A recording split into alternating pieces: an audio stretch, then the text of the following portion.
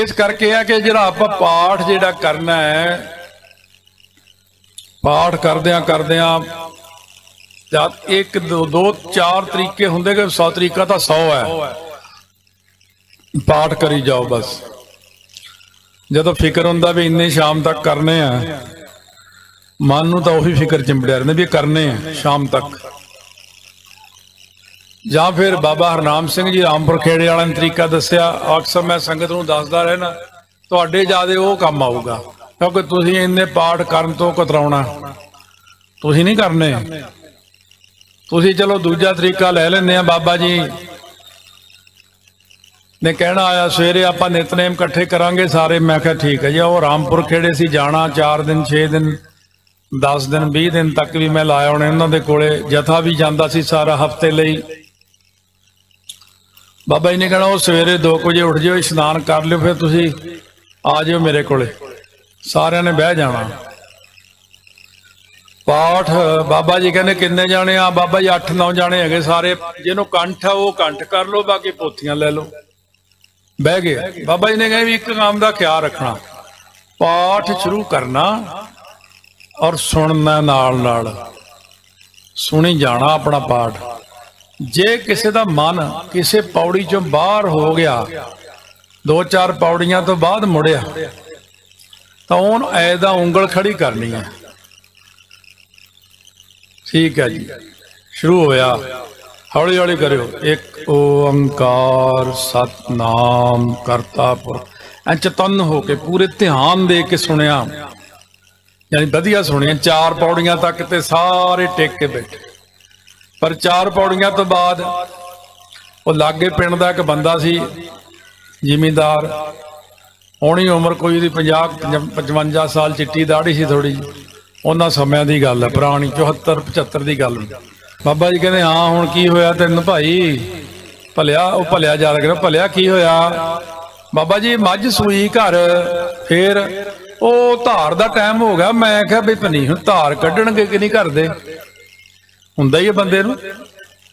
ਬਾਬਾ ਜੀ ਕਹਿੰਦੇ, ਉਹ ਭਲਿਆ ਲੋਕਾ, ਤੂੰ ਕੱਲਾ ਤਾਂ ਨਹੀਂ ਦੁੱਧ ਪੀਂਦਾ, ਸਾਰਾ ਟੱਬਰ ਦੁੱਧ ਪੀਂਦਾ, ਉਹ ਉਹਨਾਂ ਨੂੰ ਨਹੀਂ ਫਿਕਰ ਵੀ ਉਹ ਗਿਆ ਹੋਇਆ ਤਾਂ ਧਾਰ ਅਸੀਂ ਕੱਢਣੀ ਹੈ ਕਿੰਨਵੀਂ ਪੌੜੀ ਤੇ ਕਹਿੰਦਾ ਮਹਾਰਾਜ ਜੀ, ਚੌਥੀ ਪੌੜੀ ਜਿਹਦੀ ਸੀਗੀ, ਉਹ ਮੈਂ ਸੁਣੀ ਨਹੀਂ ਸਾਰੀ। ਮੈਂ ਐਵੇਂ ਖਿਆਲ ਜਾ ਘਰ ਚਲਿਆ ਗਿਆ। ਬਾਬਾ ਜੀ ਕਹਿੰਦੇ, ਅੱਛਾ, ਇਹ ਚੌਥੀ ਤੋਂ ਦੁਬਾਰਾ ਸ਼ੁਰੂ ਕਰੋ, ਫਿਰ ਤਾਂ ਹੁਣ ਸੁਣੀ ਨਹੀਂ ਕਹਿੰਦੇ ਬਾਬਾ ਜੀ ਕਹਿੰਦੇ ਮਹਾਰਾਜ ਨੇ ਮੈਨੂੰ ਕਿਹਾ ਵੀ ਸੁਣ ਕੇ ਕਰਨਾ ਕਿਉਂਕਿ ਸੁਣਿਆ ਸਿੱਧ ਪੀਰ ਸੁਰਨਾਥ, ਸੁਣਿਆ ਧਰਤ ਤਵਲ ਆਕਾਸ਼, ਗਾਵੀਆ ਸੁਣੀਆ ਮਨ ਰੱਖੀਐ ਭਾਉ।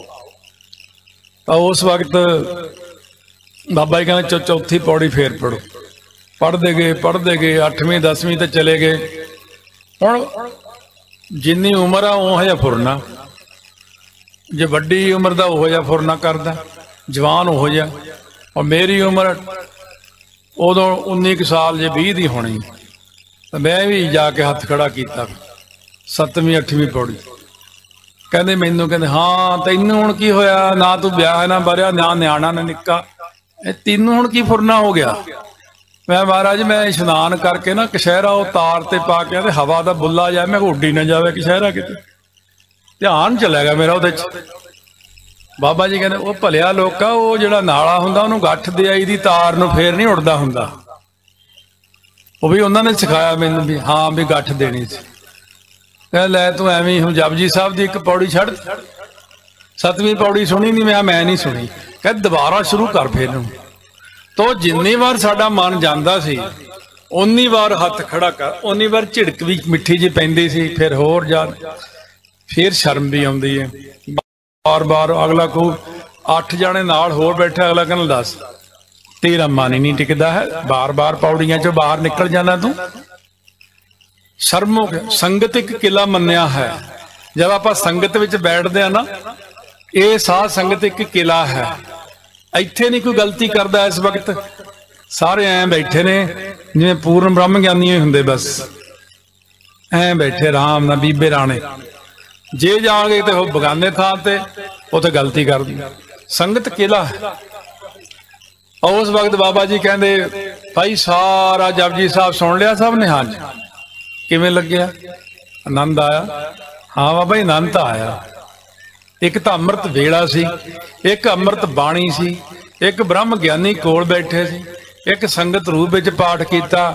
ਥੋੜੇ 2-4 ਦਿਨਾਂ ਬਾਅਦ ਮੈਂ ਕਿਹਾ, ਬਾਬਾ ਜੀ, ਮੂੰਹ ਦੇ ਵਿੱਚ ਮਿੱਠਾ ਮਿੱਠਾ ਜਿਹਾ ਹੁੰਦਾ। ਕਹਿੰਦੇ ਉਹ ਭਲਿਆ ਲੋਕਾ, ਇਹੀ ਆ। ਜਿਸਾ ਜਗਾਏ ਪੀ ਆਵੇ, ਇਹੋ ਰਸ। ਅਕਥ ਕਥਾ ਤਿੰਨ ਜਾਨੀ, ਕਹਿੰਦੇ ਹੌਲੀ ਹੌਲੀ ਵਧੂਗਾ। ਉੱਥੇ ਇੱਕ ਹੋਰ ਸਿੰਘ ਆਉਂਦਾ ਹੁੰਦਾ ਸੀ, ਉਹ ਤਾਂ ਬੜਾ ਪੁਰਾਣਾ ਲੱਗਿਆ ਹੋਇਆ ਸੀ। ਉਹ ਜਦੋਂ ਬੋਲਦਾ ਤੇ ਉਹਦੇ ਇੱਥੇ ਬਾਹਰ ਤੱਕ ਰਸ ਆ ਜਾਣਾ। ਮੈਂ ਕਿਹਾ, ਸਾਂਭਿਆ ਨਹੀਂ ਜਾਂਦਾ, ਕਹਿੰਦਾ ਕੁੱਟਾਂ ਹੀ ਆਉਂਦੀਆਂ, ਕੁੱਟਾਂ ਹੀ ਆਉਂਦੀਆਂ ਨੇ।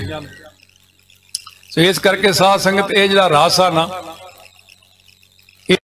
ਨੂੰ ਸ਼ਰਵਣ ਕਰਨ ਦੇ ਨਾਲ ਹੀ ਰਸ ਆਉਂਦਾ।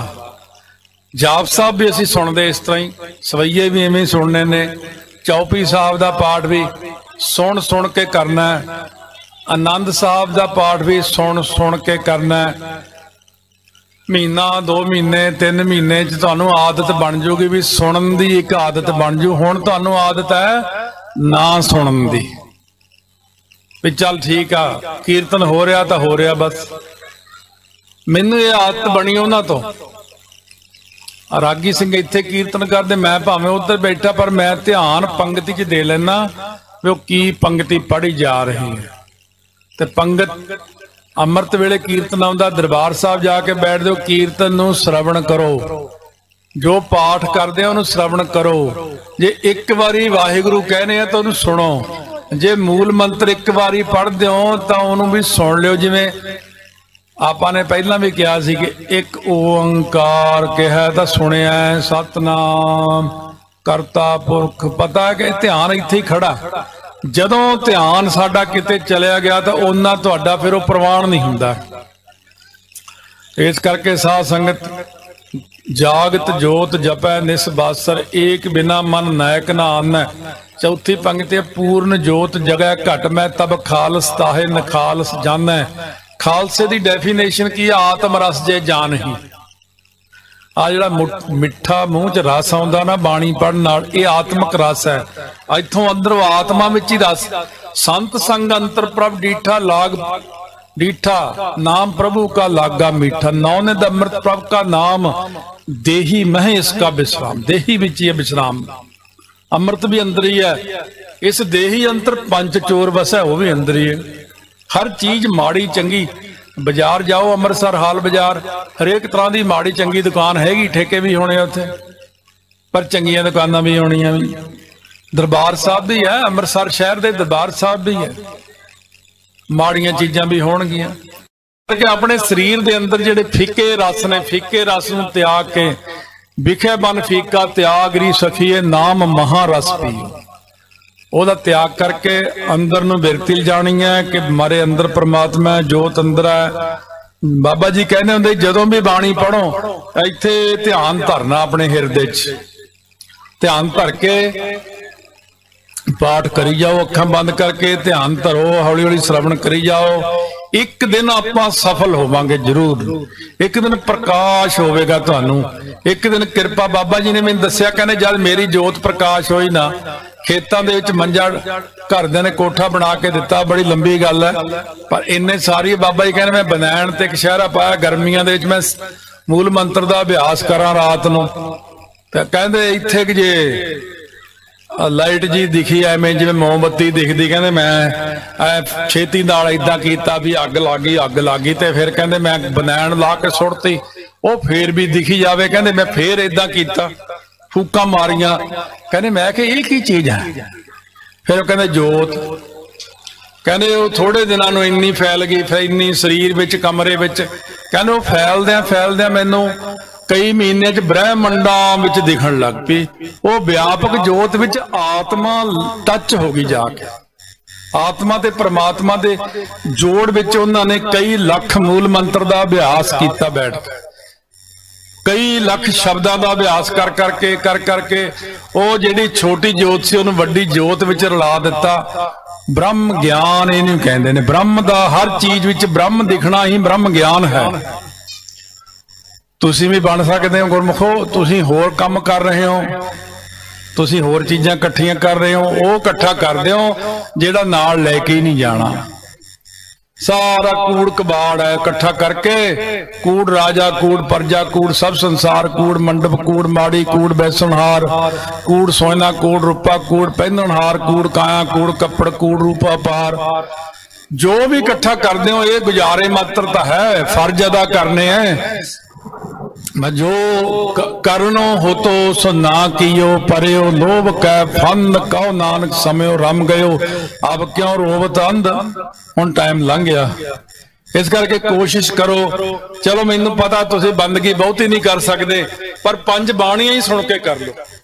ਪਹਿਲੀ ਗੱਲ ਤਾਂ ਇਹ ਜਿੰਨੀ ਸੰਗਤ ਬੈਠੀ ਆ, ਇਹਨਾਂ ਪੰਜ ਬਾਣੀਆਂ ਦੀ ਆਦਤ ਹੀ ਨਹੀਂ ਹੈਗੀ। ਕੋਈ ਹੋਊਗਾ। ਅਗਲਾ ਕਹਿੰਦਾ, ਇਹ ਤੇ ਜਿਹਨੇ ਅੰਮ੍ਰਿਤ ਛਕਿਆ, ਉਹ ਕਰਦਾ ਹੁੰਦਾ ਸੀ ਥੋੜੀ ਕਰਨੀ ਆ ਕਰ ਲੋ ਕਰ ਲੋ ਪੰਜ ਬਾਣੀਆਂ ਸਾਰੇ ਜਾਣੇ ਪੜਿਆ ਕਰੋ, ਬਹੁਤ ਸ਼ਕਤੀ ਹੈ। ਰਹਿ ਰਾਸ ਸ਼ਾਮ ਨੂੰ ਪੜ ਲਿਆ ਕਰੋ, ਕੀਰਤਨ 16 ਸੌਣ ਵੇਲੇ ਪੜ ਲਿਆ ਕਰੋ, ਸੁਖਮਨੀ ਸਾਹਿਬ ਦਾ ਪਾਠ ਕਰ ਲਿਆ ਕਰੋ। ਸਹਿਜ ਪਾਠ ਕਰ ਲੈ ਬਾਣੀ ਪੜੀ ਜਾਓ ਪੜੀ ਜਾਓ, ਆਦਤ ਬਣ ਜਾਏਗੀ। ਥੋੜਾ ਵਾਹਿਗੁਰੂ ਮੰਤਰ ਦਾ ਅਭਿਆਸ, ਮੂਲ ਮੰਤਰ ਦਾ ਅਭਿਆਸ ਕਰੀ।